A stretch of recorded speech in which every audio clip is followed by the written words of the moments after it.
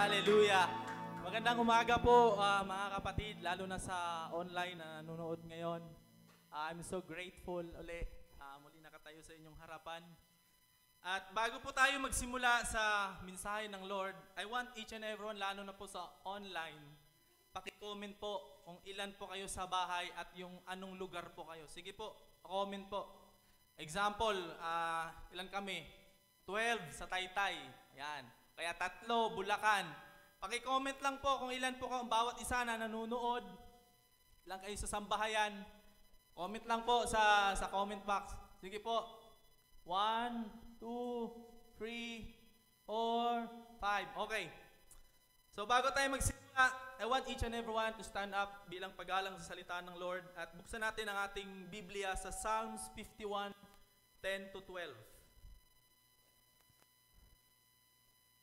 Psalms 51, English, yes po, 51:10 to 12.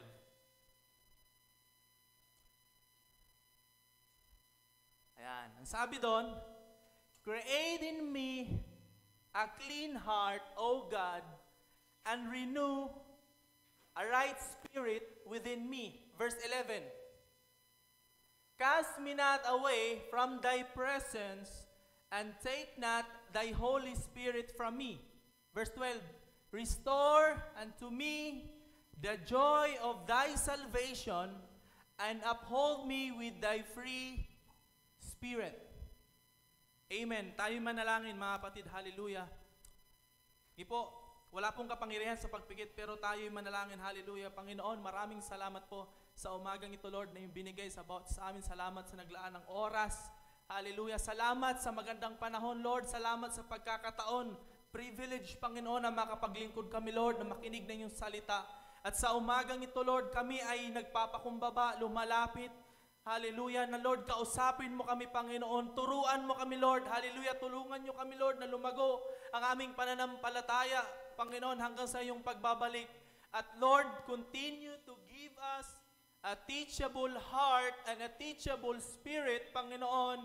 At yung tengang nakikinig ng iyong salita, Panginoon, tulungan nyo kami, Lord. Gayon po ang mga ngaral na nakatayo sa inyong harapan. Itago nyo sa inyong likuran ang iyong salita ang mamutawi sa kanyang mga labi, wag ang kanyang karumihan.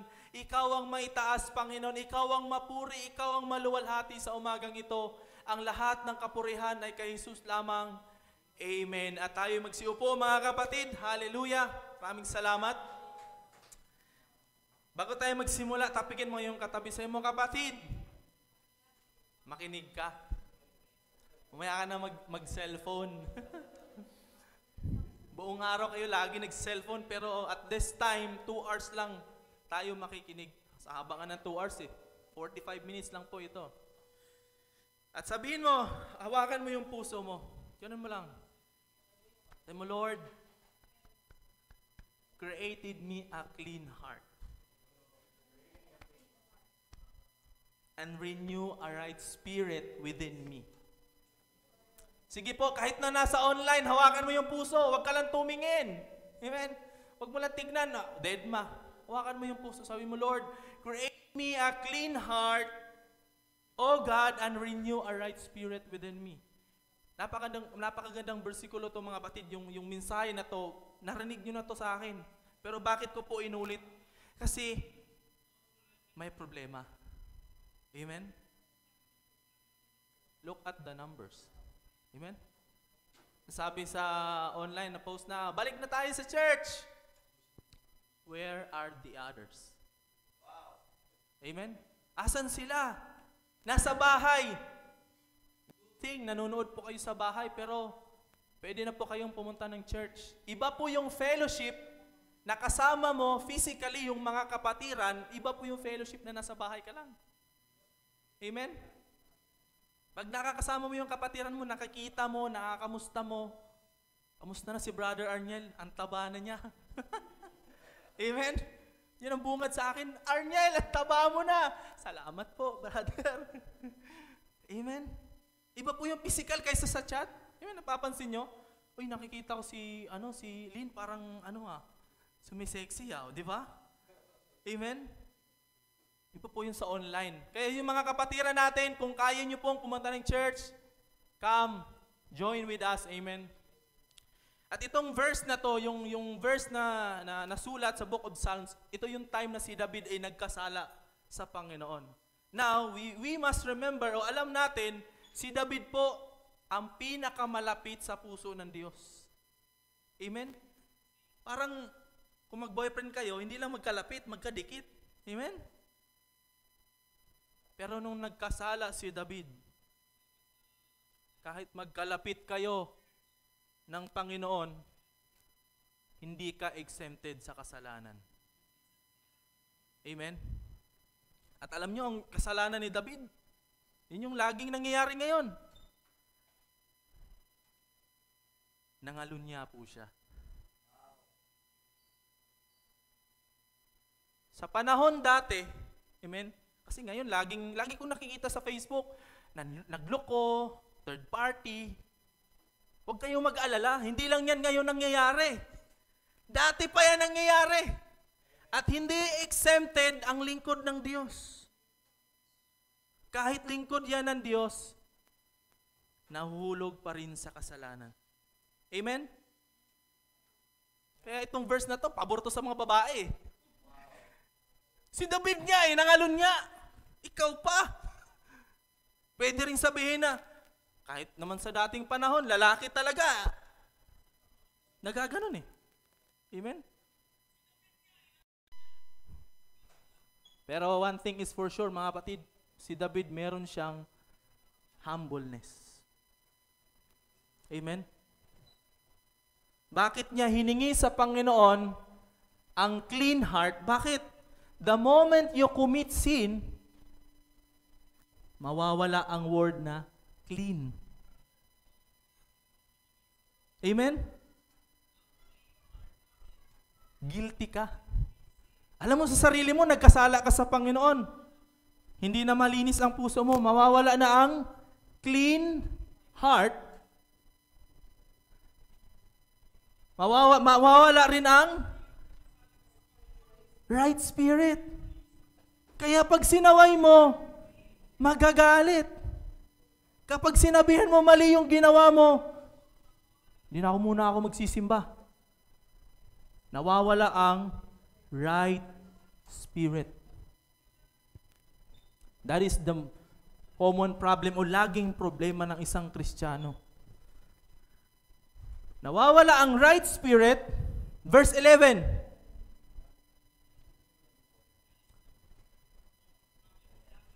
Anong mangyayari pa sa'yo pag wala, hindi na clean ang heart mo? Una, ba? Mawawala ang clean heart. Mawawala ang right spirit. Ano mangyayari? Away from thy presence. Mapapalayo ka sa presensya ng Diyos. Kaya nahihiya kang lumapit sa Panginoon. Amen? Ito yung sinabi ni David kasi ang mangyayari, ikakas siya sa presensya. Pag sinabing cast, aalisin. Kaya niya sinabi, cast me not away. Huwag mo kong alisin. O huwag mong alisin. Sa presensya mo, pag sinabing presensya ng Diyos, hindi po ibig sabihin nun na nasa church, ang tinutukoy po nun, yung, yung closeness niyo sa Panginoon. Yung prayer life mo, nahihiya ka na mag-pray kasi may kasalanan ka. Naranasan ko po yan. Naging burden ko po. Nagpipray ka, alam mo sa sarili mo at the back of your mind, you have guilt. Guilty ka. Bakit? Mali. May mali. Hahayaan mo lang siya ng hahayaan. Palala ng palala. Next verse, verse 12. Hallelujah. Sa verse 12, anong mawawala sa iyo una? Clean heart. Amen. Right spirit. Makakas ka pa sa presence ng Lord. Ito next. The joy of thy salvation. Praise the Lord tatamarin ka ng sa kaligtasan mo. Kaya hindi ka na nagsisimba. Ayaw mo na mag-pray. Ayaw mo na magbasa. Kasi, yung joy of thy salvation, wala. Kaya ang sabi ni David eh, i-restore, baguhin. Kasi nung the moment na nagkasala si David, nawala. Kaya ang sabi niya, Lord, i-restore mo, baguhin mo, i-refresh, i-restart, magsimula uli.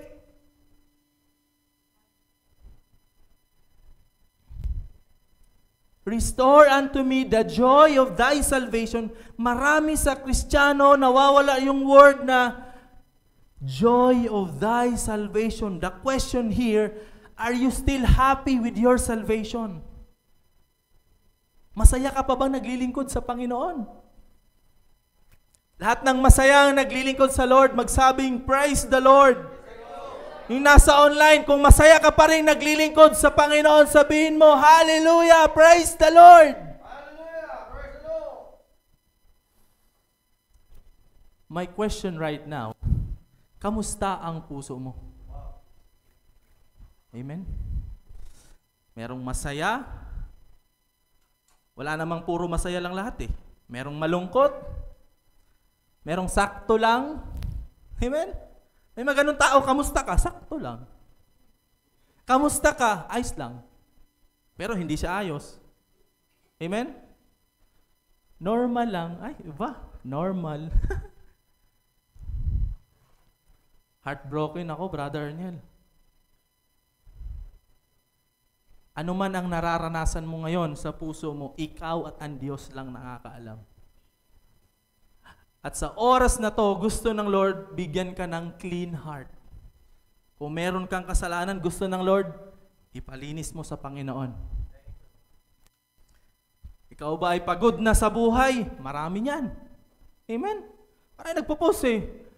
Puro tired, tired, tired. Pagod, pagod, pagod. Amen? Pagod sa buhay, pagod sa trabaho, merong pagod sa relasyon, pagod sa pamilya, nako. Lalo yung mga magulang, ang sakit sa ulo ng anak ko, nakakapagod ka. Pwede naman yung anak, sakit sa ulo ang magulang. Mama ko ganito, papa ko ganito. Baliktaran lang naman yan eh. Hindi naman pwedeng sakit sa ulo ang magulang, sakit sa ulo din anak.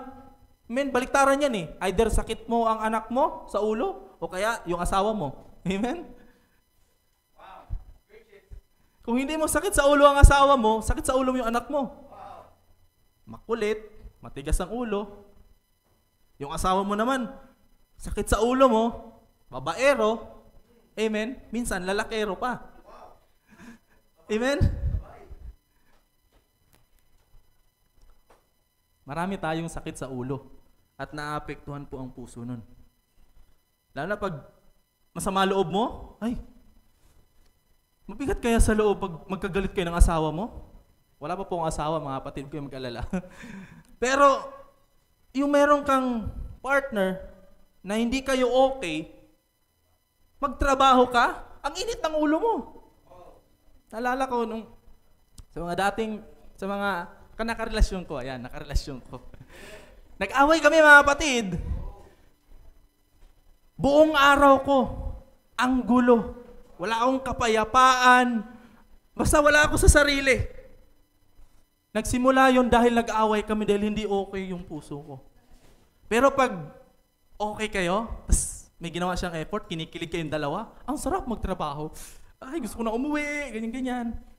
Nagsisimula sa puso. Andyan pa ba kayo mga kapatid? Iba sa inyo, grabe naman magsalita si Brother Arniel, pero God right now is talking to you. Kinakausap ka ng Diyos. Huwag mong tanggihan, Lord, di ko kailangan yan. Ayoko niyan. Bakit? Gusto ng Diyos maayos ang puso mo. I don't care how long you are serving God. Ilang taon ka man. I don't care. God cares the status of your heart. Amen? 30 years ka nga, 10 years, wala ka namang relasyon sa Panginoon. it's nonsense. Kung paano ka nagsimula dati, nung naglingkod ka sa Lord, may galak, kamusta na ngayon? Andyan pa ba yung galak? O nawawala yung word na K, yung galak, nagiging gala na? Oras ng Sunday, may gala. Nakalimutan mo, yung galak mo dapat nandun sa Panginoon. Nawala yung K. Ang, ang naiwan, gala.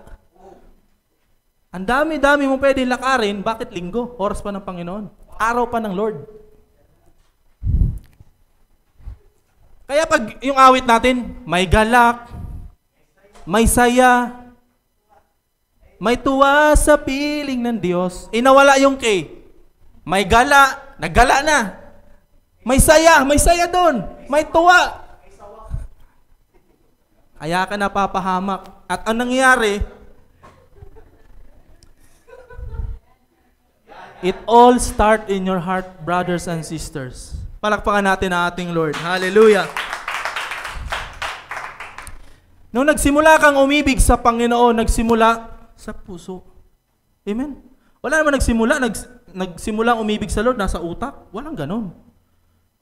Nung una mong naramdaman na inibig ka ng Diyos, naramdaman mo, Lord, I am, I am love right now, nagsimula sa puso. Nung na, na, narinig mo yung kaligtasan na, na shinare sa'yo, kung sino man nag-share, nung narinig mo yon kasi faith cometh by hearing, nung narinig mo, nung narinig mo siya, tumimo sa iyong puso, at doon tinanim ng Lord. Kasi hindi po itatanim ng Lord sa tiyan. Kasi itatayo mo yan eh, dudumi yan eh. Pero pag sa puso kasi, doon. Bakit? Bakit sa puso, Brother Arniel? 1 John 4.8 Bakit sa puso? Bakit sa puso? Because God is Kaya sa puso, mga kapatid.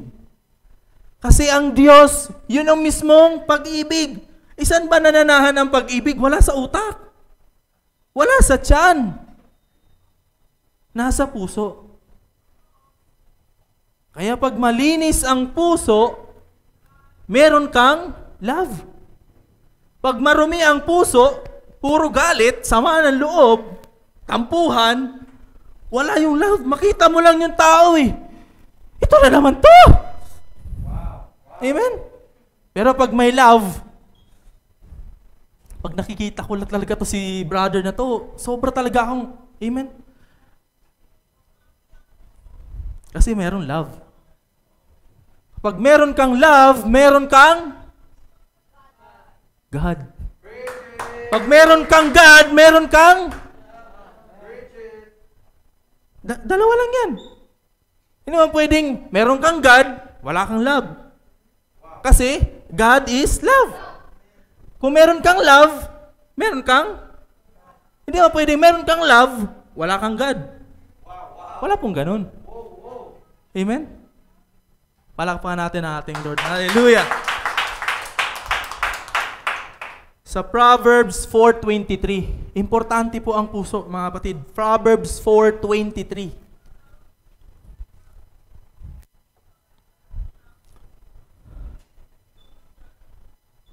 Proverbs 4.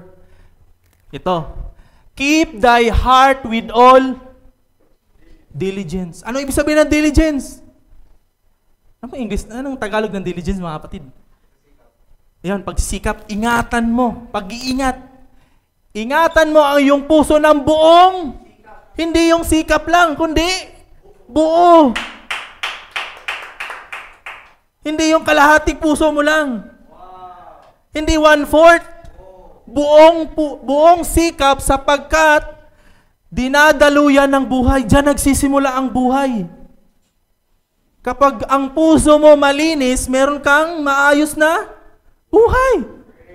Pero ang puso mo marumi, puro galit, sama ng loob, galit ka sa buhay. Pansinin niyo yung mga taong galit sa buhay, kausapin mo lang, hmm, sungit lagi. Eh, may na-experience po akong ganyan, huwag kayong mag-alala mga kapatid. Yung tipong hindi pa kayo nagkita, pagdaan niya na kasi mangot na.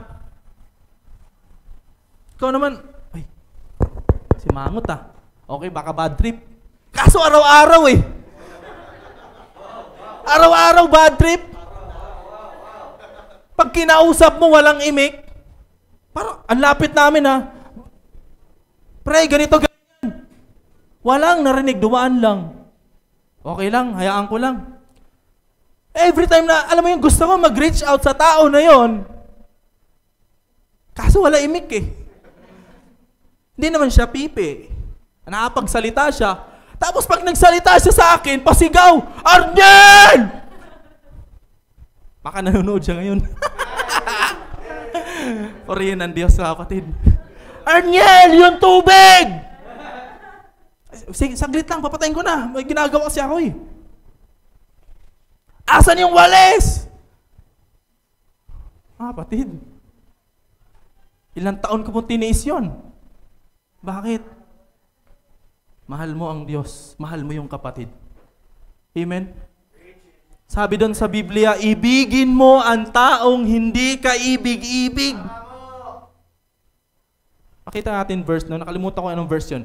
Yung ibigin mo yung taong hindi ka ibig-ibig. Mahirap ibigin ang taong hindi ka ibig-ibig. Mas madali ibigin eh. Mabango. Maganda o gwapo. Mabait. Kahit sinong tao iibigin yan. Amen? Pakita natin mga kapatid. Mahirap ibigin ang taong hindi ka ibig-ibig. Pero yun ang utos ng Diyos.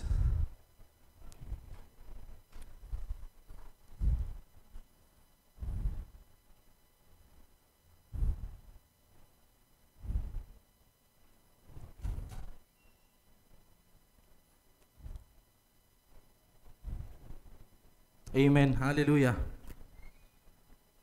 Nantok na ba kayo mga kapatid? ako hindi ako natutulog. Sabi doon, kung sinasabi ako'y umiibig sa Diyos. Kaya pag nagsasabi ka, I love God. Amen? Kung sinasabi ng sino man, ako'y umiibig sa Diyos at napupuot sa kaniyang kapatid, hindi po yung kapatid na kapatid mo sa dugo, kundi kapatid mo sa Panginoon. At sinungaling, sapagkat ang hindi umiibig sa kanyang kapatid na kanyang nakita ay paanong makaiibig sa Diyos na hindi niya nakikita. Umibig daw sa mga... Ang hirap kaya ibigin yung taong nakakainis. Yung tipong wala siyang gagawin na babadrip ka na. O kaya lahat ng gagawin niya, palpak. Naranasan po yan, kapatid.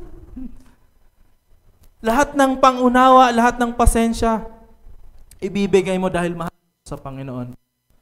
At the end of the day, pinagpipray ko siya lagi. At that person change. Mabuti ang Lord, mga kapatid.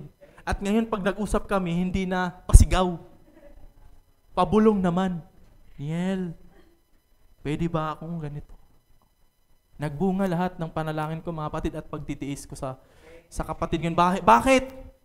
Pag meron kang God, meron kang love because God is love. Palakpakan natin ang ating Lord. Hallelujah! Mag-ingat ka rin sa mga laging nagsasalita. Amen? Matthew 15, 7 to 9. Yung mga lagi nagsasabi, ang ganda mo, ganito, ganyan. Kung, kung hindi totoo, Matthew 15:7 9. Kayong mga mapagpaimbabaw, mabuti ang pagkakahula sa inyo ni Isaiah na nagsasabi. Hindi, hindi. Uh, Matthew 15, 7, uh, 9. Uh, i-English mo, English please.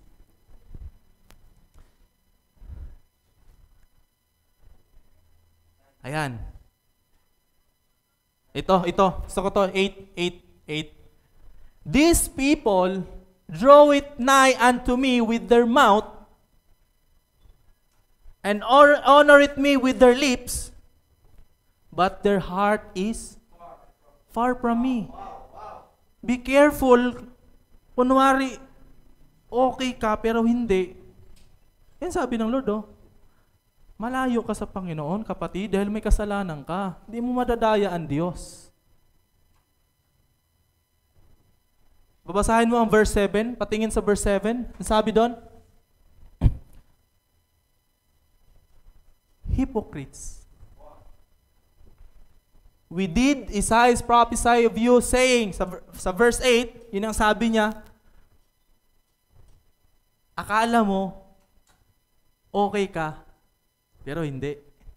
Verse 9, But in vain they do worship me, teaching for doctrines the commandments of men. Hypocrites, mga kapatid. Hindi mo pwedeng dayain ang Diyos.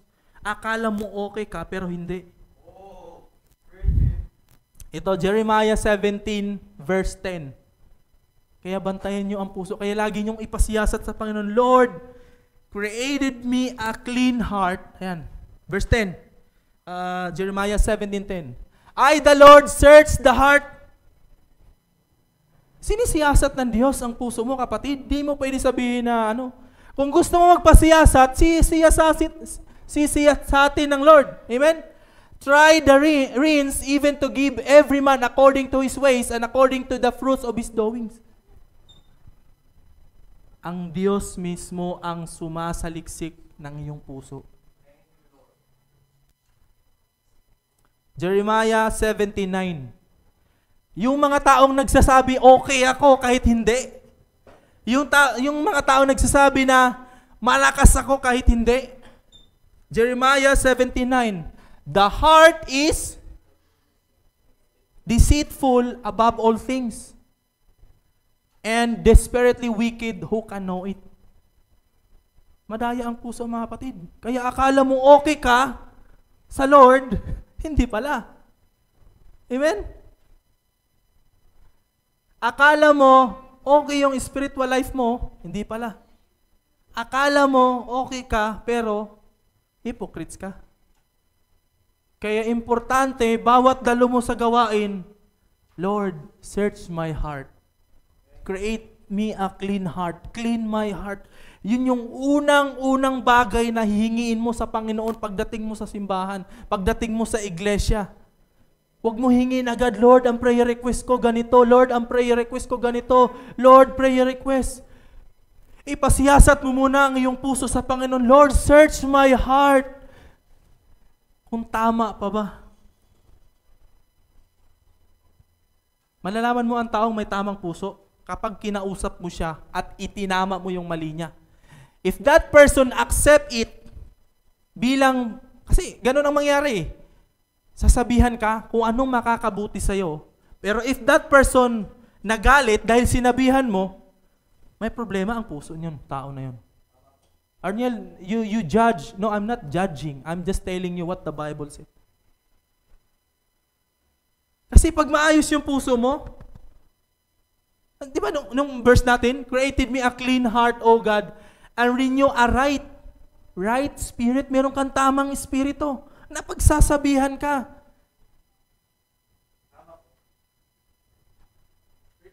Maraming Kristiyano na wala ang right spirit. Merong clean heart, sabi niya, na wala ang right spirit. Palakpakan natin ang ating Lord.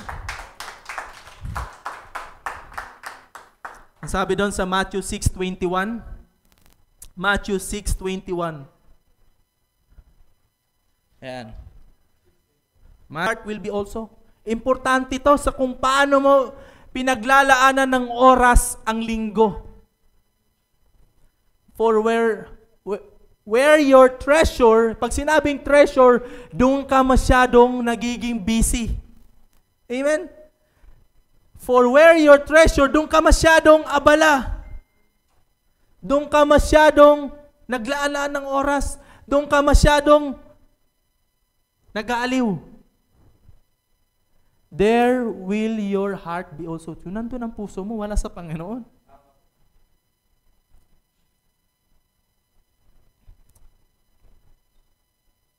Tanungin mo ang sarili mo, saan ba ang treasure mo?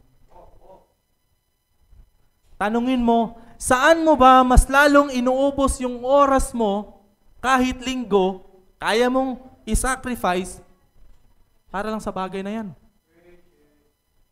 Hindi nga hiningi ng Lord buong araw mo eh, buong linggo mo eh. Ang sabi lang ng Lord, honor thy Sabbath day. Nung sinabi ng Lord, honor thy Sabbath day, utos yon. Hindi yung sinabi ng Lord, oy, iano mo yung Sabbath day ha? Hindi. Honor thy Sabbath day. Ibig sabihin, ano mo Tagalog ng honor? First honor. Ah, ha? Dalangin? Ay, igalang. Ayun. Igalang mo ang araw ng pagpapahinga. Sabat day, yun may meaning ng sabat, di ba? Igalang mo. Diyos mismo nagsalita ano na? Honor thy Sabbath day. Pero bakit sa Sabbath day wala ka? Ang Diyos na mismo nagsabi, igalang mo ang araw ng pagpapahinga. Pero bakit o araw ng pagpapahinga wala ka? Sabihin, bastusan. Amen? Diyos mismo nagsabi, utos, di mo sinunod. Ang tawag sa'yo, bahala ka na, anong mag-isipin mo? Nanay mo nga, pag inutusan, di mo, di ka sinunod. Ang, ang nangyari sa nanay mo, Gina G, inutusan kita maghugas ng plato, bakit hindi ka naghugas? Ratatat, nanay, ganyan, ganyan, bumobile legend pa ako. Nanay mo yan na nagagalit ha. Eh, ito Diyos, mga kapatid. Hari ng mga hari. Ito yung nagbigay sa iyo ng kaligtasan. Ito ang nagligtas sa iyo. Ito ang magdadala sa iyo papunta sa langit. Ang Diyos na pinaglilingkuran natin. Hindi mo in-honor. Hindi ka nakikinig. Bakit? Balik tayo sa main verse. Nung sinabi ng Lord, sabi, honor thy Sabbath day, balikan natin ang main verse natin.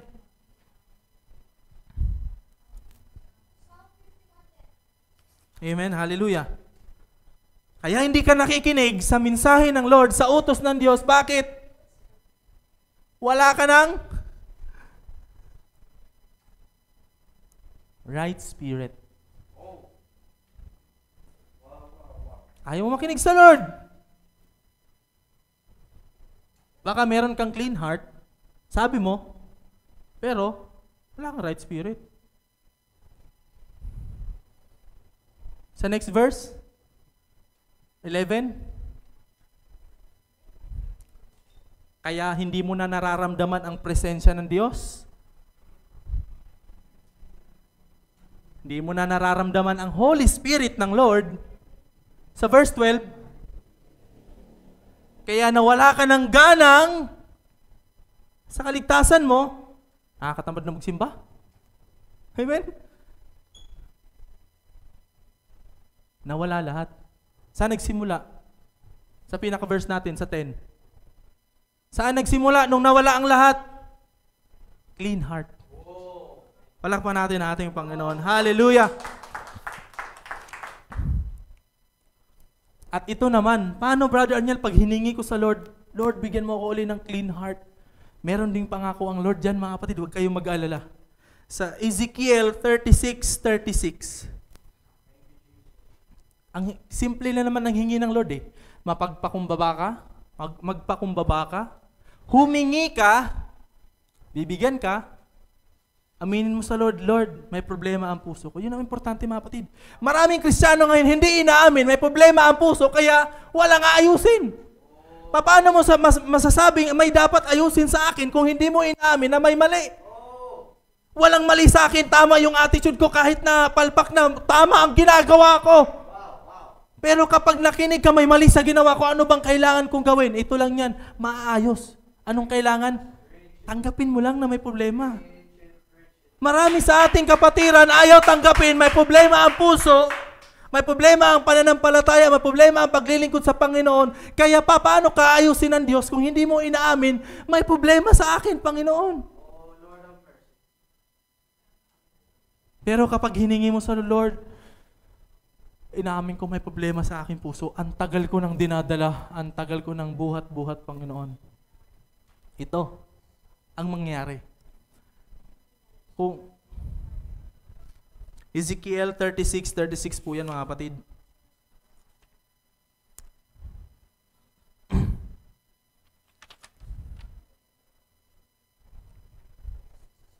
English, mas gusto ko English. Hallelujah, thank you Lord. English.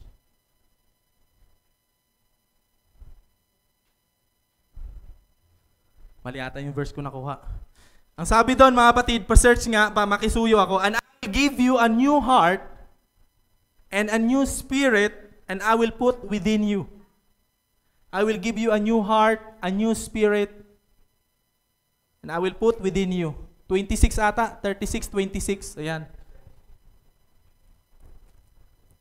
Ayan, ayan na mga kapatid. Pag humingi ka sa Lord, inamin mo may problema ang puso mo. Sabi no, a new heart also will I give you. Bibigyan ka ng Lord. Amen? Huwag kang matakot na umamin na, ay baka hindi na ako bigyan. Sabi ng Lord, oh, a new heart, amen, also will I give you. And a new, hindi na tama spirit mo, meron kang, di ba anong gusto mo kanina? Sabi ni David, renew. Bago. Bibigyan ka na Lord ng new spirit, and I will put within you. Ilalagay sa'yo. Amen? And I will take away the stony heart. Pag sinabing stony heart, pusong bato. Amen? I will take away, kukunin ng Diyos. Ang Diyos po ang nagpapatigas ng puso, mga kapatid. Kaya sinabi ng Lord, I will take away, kukunin ng Diyos. I will put away, I will take away the stony heart out of your flesh. Totoong puso na bato. Amen? Hindi yung magic na ano. Amen? Out of your flesh and I will give you a heart of yung totoong puso. Anong kailangan mong gawin? Hingiin. Anong kailangan mong gawin? Aminin mo sa Panginoon, Lord, there's something wrong with my heart.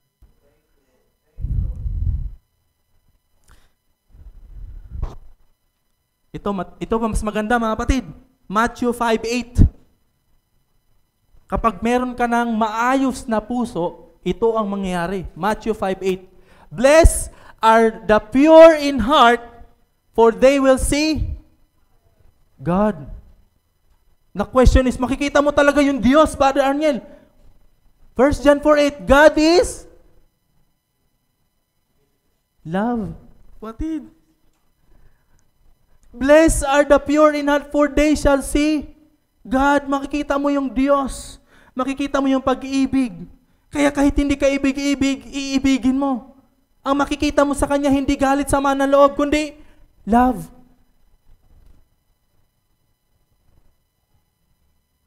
May, naintindihan, may naintindihan tayo mga kapatid. Palakpan natin ang ating Lord.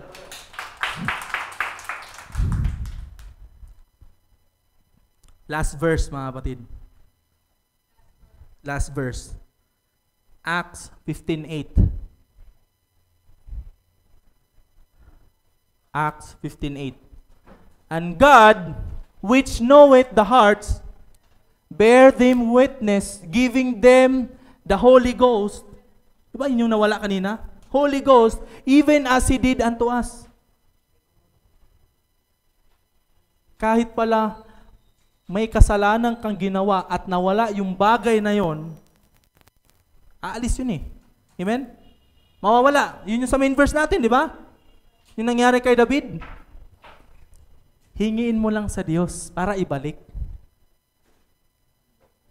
Amen? Balikan natin ang main verse natin. Thank you, Lord. Main verse natin, Psalms 51.10. Ayan. Galing cholo ah.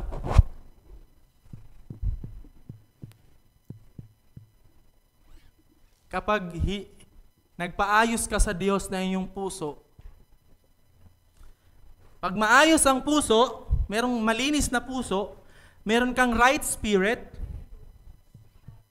Next verse. Next verse mga kapatid. Hindi ka ikakas ng Panginoon sa kanyang presensya, hindi niya alisin yung Holy Spirit. Next verse. Hindi hindi mo na kailangan i-restore ang joy. Meron kang joy sa salvation.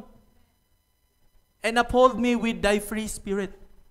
Pero, balik rin natin. Balik natin sa verse 10. Pag meron kang maruming puso, mawawala ang right spirit.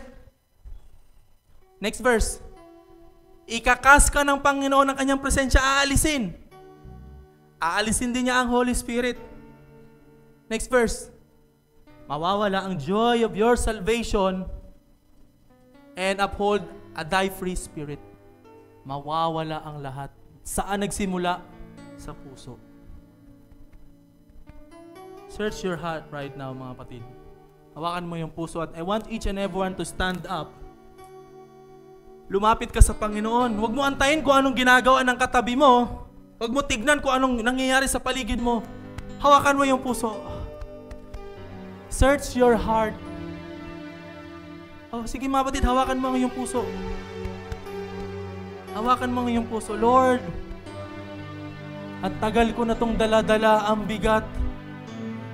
Lord, hindi ko na kaya. Suko na ako. Ang tagal kong nagtatago sa iyong presensya. Ang tagal kong nawala sa iyong presensya. Ang tagal ko, Lord, na dala-dala ang bagay na to. Itama mo ako, Panginoon. Hallelujah. Tingin mo sa Lord. Lumapit ka, kapatid. Lumapit ka kasi. Huwag kang tumayo lang dyan.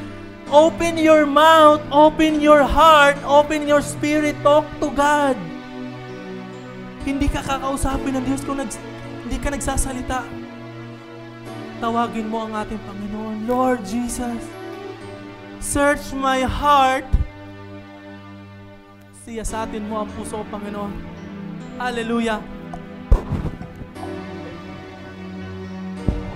Sige mga kapatid, yung nanonood online, hawakan mo yung dibdib, hawakan mo yung puso. Pasiyasat mo sa Panginoon. Hallelujah.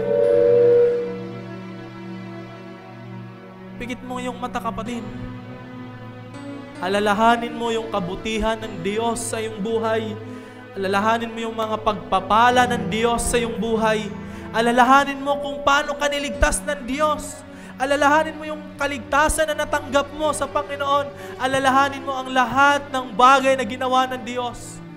Kung hindi mo maalala, hingi mo sa Lord, hingin mo sa Lord, Lord, give me a clean heart. Thank you, give me Jesus. a teachable Thank you, spirit, O God. Lord. Hallelujah. Puso, Panginoon. Create me a clean heart, Oh God, spirit within me.